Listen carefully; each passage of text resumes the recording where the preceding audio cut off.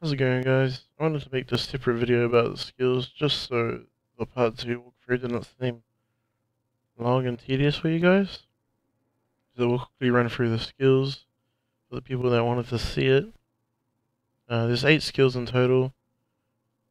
They all have different variations. So we'll quickly look at them, read through the description so you guys get an idea of what these skills do if you're looking to pick up the Division 2. So let's start with our first skill, Pulse. And this is Scanner Pulse. The scanner pulses the surrounding area for hostiles and visually highlights them on the agent's HUD. And they have a preview window which you guys can see what the skills do. Move on to the next one. This is Remote Pulse. The remote is deployed at a set location and continually pulses the nearby area for hostiles and visually highlights them on the agent's HUD. And our next one is Jammer Pulse.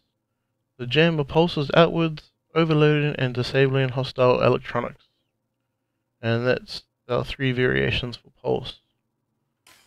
We'll move on to our next skill, which is turret. And this one is assault turret. The assault turret automatically tracks and attacks hostile targets, but this behavior can be manually overridden to target a specific enemy. Um, our next one is Incinerator Turret. The Incinerator Turret is manually controlled by the deploying agent to dispense stream of flame in a forward-facing cone.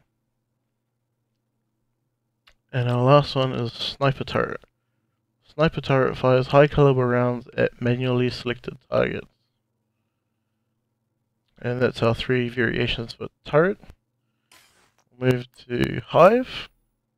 This is Restorer Hive. The Restorer Hive sends out micro repair drones that expend themselves to repair allies' armor. Our next one is Stinger Hive.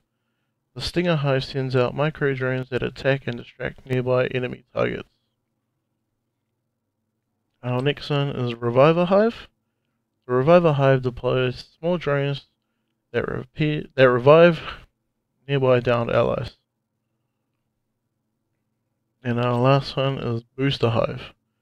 The Booster Hive delivers a stimulant to nearby allies that increases their combat efficiency. And we have four variations for Hive. We'll move on to our next skill, Chem Launcher. And this is Reinforcer Chem Launcher. The reinforced uh, canister disperses a cloud of gas that repairs and reinforces the agent's allies' armor. Our next one is Firestarter Chem Launcher. The Firestarter canister creates a cloud of explosive gas that can be ignited through explosives, weapon fire, etc. And our next one is Riot Foam Chem Launcher. The Riot Foam gas canister fires a payload of sticky foam that immobilizes targets. And our last one is Oxidizer Chem Launcher. The oxidizer canister releases a cloud of corrosive gas that damages enemies' armor, skill proxies, and causes damage over time. And like Hive, we have four variations of the Chem Launcher. Our next one is Shield, and this is Bulwark shield. The Bulwark shield provides near full body coverage, but its bulk means that only sidearms may be used while it's equipped. The next one is Crusader Shield. The Crusader Shield is light is a lighter shield that allows all primary weapons to be equipped while it's equipped, but exposes the agent's legs. And the last one is Deflector Shield. The deflector shield causes incoming bullets to ricochet to a nearby highlighted target with a clear line of sight to the agent. Though it is not full body shield, lack of brace means that only a sidearm may be used alongside the shield. And that's our three variations for the shield. Next one we have drone. And this is striker drone.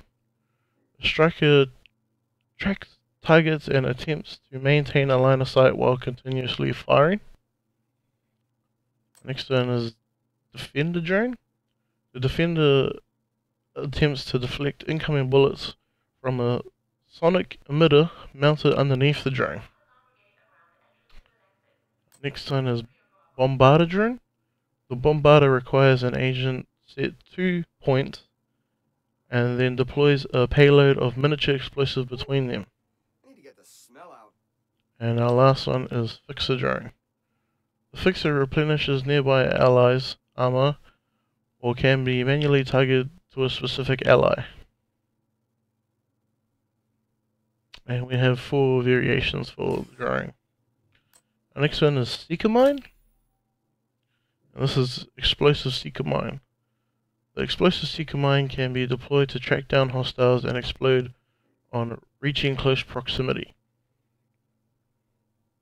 Our next one is Airburst Seeker Mine. The Airburst Seeker Mine rolls towards its target and launches an explosive burst into the air on reaching close proximity. And our last one is Cluster Seeker Mine.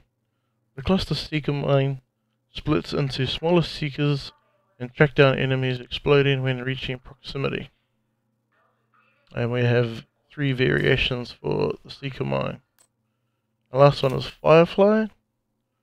This is Blinder Firefly. The Blinder Fire Firefly blinds enemies that passes over, causing them to be unable to function at full combat effectiveness. Our next one is Burster Firefly. The Burster Firefly attaches explosives explosive charges to enemies that detonate if two are in close proximity. And our last one is Demolition Firefly.